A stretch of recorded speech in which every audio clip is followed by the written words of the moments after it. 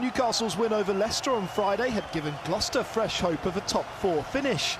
Wins in their final two games were an absolute must though, starting with fierce rivals Bath at Kingsholm. But it was the visitors looking for their first win in five who were fastest out the blocks. Hooker Rhys Dunn on the end of some good phase play to power his way over.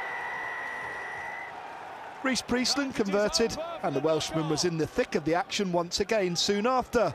His initial pass put Francois Louw through before receiving the return pass and forcing his way over the line.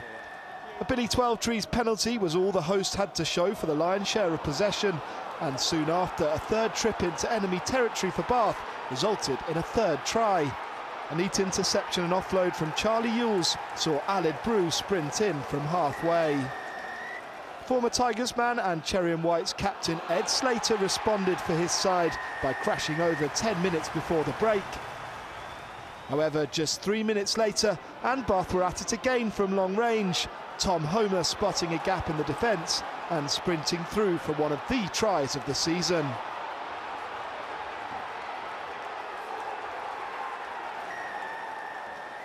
A relentless Ben Morgan carrying performance was typified by his contribution to Gloucester's next try, the ball eventually finding Jason Woodward via a brilliant Ben Vellacott pass.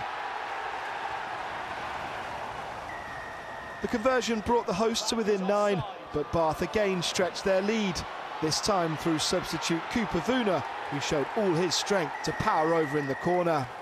Gloucester were forced to chase the game, and after Twelvetrees' loose pass found the grateful arms of James Wilson, the game was well and truly over.